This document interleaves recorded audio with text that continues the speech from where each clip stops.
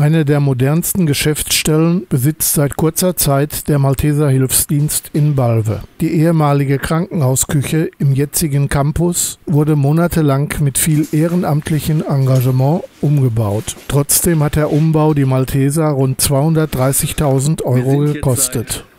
Anfang Dezember kann man sagen, hier in unseren neuen Räumlichkeiten. Äh, der Umzug hat natürlich etwas länger gedauert wegen der Corona-Geschichte. Ähm, wir sind aber froh, endlich hier neue Räumlichkeiten zu haben, denn ähm, in den alten Räumlichkeiten war es nicht mehr möglich wegen der Ausbildung und so weiter, die wir unter den neuen Vorschriften nicht mehr passend anbieten konnten. Hier haben wir jetzt insgesamt 230.000 Euro investiert. Der Zuschuss aus EU-Fördermitteln, den wir erhalten haben durch die äh, LIDA-Region, war 110.000 Euro. Das hat es uns überhaupt erst möglich gemacht, hier reinzugehen. Hier ist ein Besprechungs-, Beratungs- und äh, Sitzungsraum, den wir nutzen können mit einem Smartboard.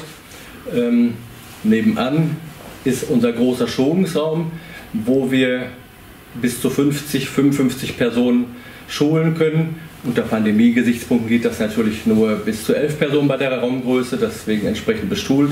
Aber wir haben 55 Sitzplätze dafür vorbereitet.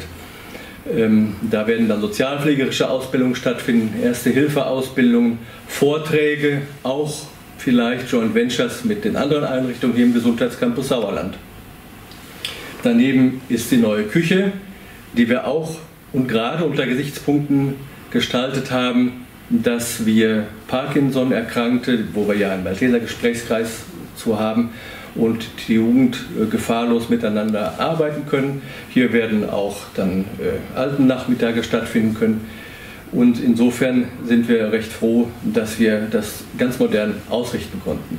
Letzten Endes kann ich nicht ohne Stolz, das gebe ich zu, sagen, dass wir hier mit diesen Räumlichkeiten, dem großen Schulungsraum und allen anderen Räumlichkeiten, hier den modernsten äh, Raum, die modernste Geschäftsstelle in Südwestfalen haben. Da haben wir uns wirklich sehr viel Mühe gegeben und wir danken äh, der EU mit ihren Fördermitteln und der LIDA-Region ausdrücklich, dass sie dies mit ihrem Zuschuss ermöglichen konnten. Dann haben wir ein Büro, was wir Ehrenamtsbüro nennen, wo der Katastrophenschutz bearbeitet wird, die allgemeinen Verwaltungsdinge dafür.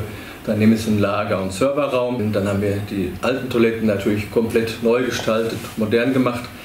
Dann äh, daneben ist der Desinfektorraum, wo die Masken für die Erste-Hilfe-Ausbildung und andere Ausbildungen gereinigt und desinfiziert werden können. Ähm, daneben wird dann das Hauptamtsbüro zu sehen sein. Da ist unsere Verwaltungsmitarbeiterin, die nebenberuflich äh, den Menüservice bearbeitet, Bestellungen abwickelt und dergleichen mehr.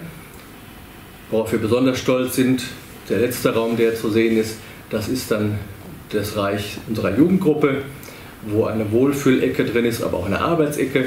Das äh, Wappen, was da zu sehen ist, äh, das ist das Wappen der Malteser Jugend, die Mammuts, selbst gemalt, worauf die Jugend sehr stolz sein kann. Ich freue mich darauf, Sie hier in 2021 begrüßen zu dürfen und hoffe, dass wir hier Sie sehen bei Ersthilfeausbildung und vielen anderen Gelegenheiten. Bis dahin wünsche ich Ihnen ein frohes Weihnachtsfest und einen guten Rutsch.